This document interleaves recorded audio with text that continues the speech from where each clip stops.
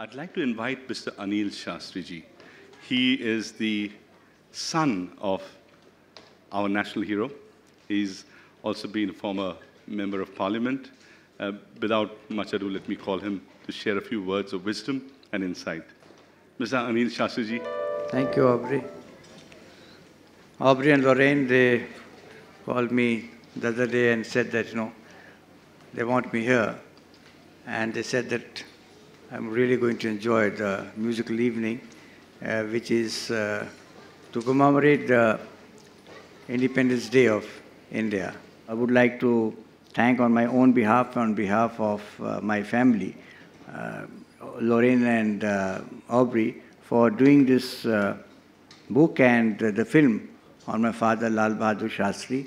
I don't want to say much about him. All I would say is that he was, he, he was born poor, and just because his dedication, honesty, and uh, his commitment to hard work uh, led him to become the Prime Minister of India.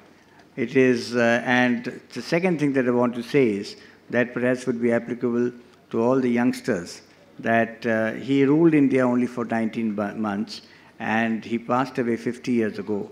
But I find his slogan, Jai Jawan, Jai Kisan, wherever I go, as relevant as it was 50 years ago.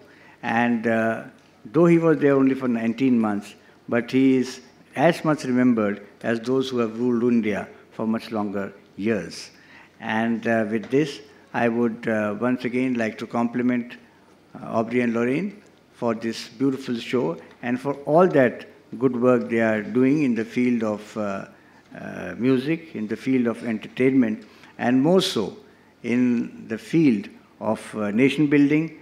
Their uh, Come India Sing Janagana Mana is, uh, is an inspiration and uh, it inspires people like me, it inspires all those who are sitting here, and I wish them all success. Thank you very much.